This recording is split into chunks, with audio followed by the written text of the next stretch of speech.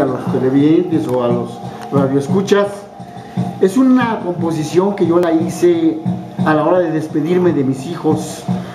Y la en lengua mexicana dice así, no colinchi, amo si choca, amo choca, chiquita mota, san cualca, yeyawi, sha, me lavo aquí en niño no colinchi, niño tequipanoti,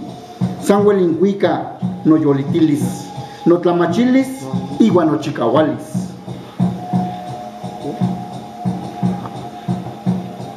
Ni aunque cristite ni chicahualisli, no itonil, no sono eso. Chamica nechpatilis y cachitzi tomi. Maski, ompa techpipinati toca, pompa techishmati kemi masewalti.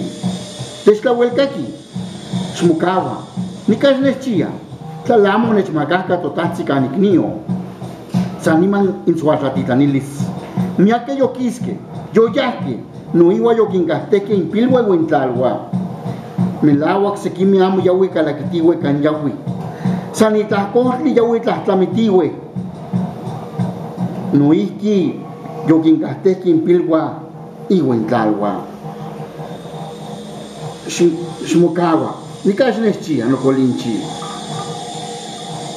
Klamo nechmakaka totachi, no itzilia, zany manin'ny zoazatizany lisy nikah to tlalwa yoso tlawake tlalo ajak mo teskaki kan kan mo tatah Mas maski tah ko tlalin mo tatah telia dia ajak mo teskaki ikayen mitsulelia no choko amo si choka amo si choka to chikawali si wato o o poliwi. Ikayen no chokotsi amo si choka ya niyo. La socamatinía. ¿Y en español?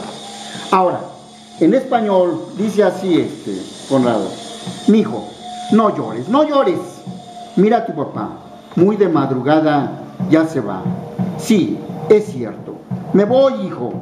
Voy a jornalear a lejanas tierras, llevándome mi vida, mi mente y mi fortaleza. Voy a ofrecer mi sudor o mi sangre a cambio de un puñado de tomi dinero, sin importarme la burla que por mi causa surja, por ser conocido como indio. Óyeme bien, quédate.